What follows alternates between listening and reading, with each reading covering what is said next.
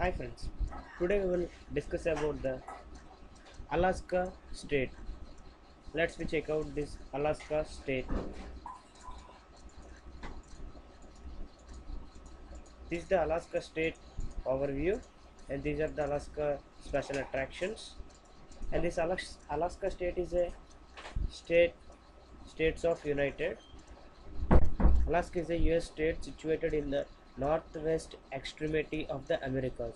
The Canadian administrative divisions of British Columbia and Yukon border the state to the east, while Russia has a maritime border with the state to the west across the Bering Strait. To the north are the Chukchi and Beaufort Seas, the southern parts of the Arctic Ocean.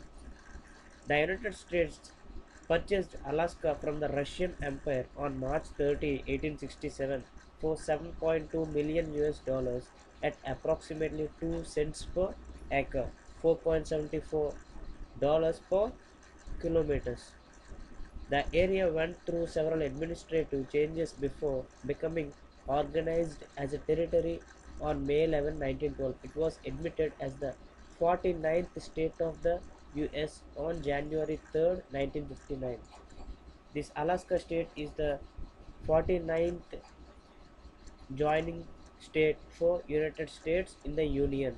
This is the 49th state in the state of US on January 3rd 1959 this Alaska is very beautiful and very cool conditions in there and this is the one special attraction for the Alaska state and there are no officially defined borders demarcating the various regions of Alaska but there are six widely accepted regions This is the Alaska State overview. Thank you for watching about Alaska State.